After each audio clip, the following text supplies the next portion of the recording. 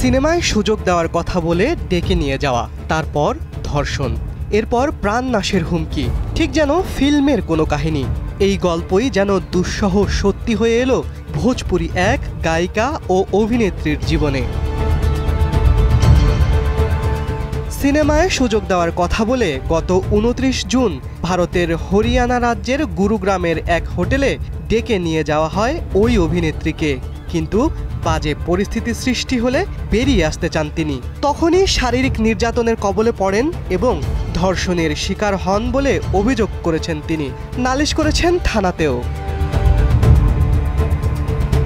অজানা ব্যক্তির খপ্পরে পড়েছিলেন ভোজপুরি এই অভিনেত্রী। মহেশ পাণ্ডে নামে এক ব্যক্তির সঙ্গে সামাজিক যোগাযোগ মাধ্যমে পরিচয় হয় তার। তাকে নতুন সিনেমায় অভিনয়ের প্রস্তাব দেন পাণ্ডে।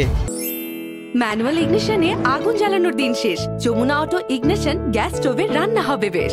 কাজের বিষয়ে বিস্তারিত আলাপ করতেই অভিনেত্রীকে আমন্ত্রণ জানান গুরুগ্রামের একটি হোটেলে। মহেশ পাণ্ডে শুধু সাক্ষাৎকার নেবেন বলেই জানিয়েছিলেন অভিনেত্রীকে।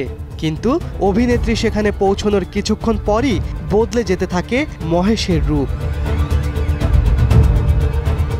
অভিনেত্রী জানান, তিনি সেখানে যাওয়ার আগেই হোটেলের একটি কক্ষ ভাড়া করে রেখেছিলেন মহেশ পাণ্ডে। দু একটি কথা বলার পরই মদ্যপান শুরু করেন তিনি। মদ পেটে পড়তেই পাল্টে যান পাণ্ডে। সেই মুহূর্তে কক্ষ থেকে বেরিয়ে যেতে চান অভিনেত্রী।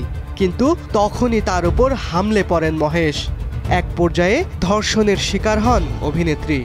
শুধু তাই নয়, অভিনেত্রীকে প্রাণ নাশের হুমকি দিয়েছেন মহেশের বন্ধুরা। এছাড়াও তার অশ্লীল ভিডিও ভাইরাল করার হুমকিও দিয়েছেন তারা। এমনটাই জানিয়েছেন ভুক্তভোগী।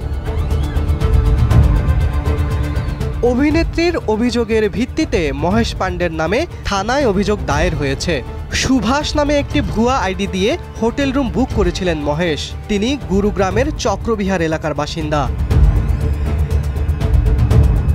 ভারতীয় দণ্ডবিধির তিনশো ছিয়াত্তর এবং পাঁচশো ছয় ধারায় মহেশ পাণ্ডের বিরুদ্ধে মামলা দায়ের করা হয়েছে।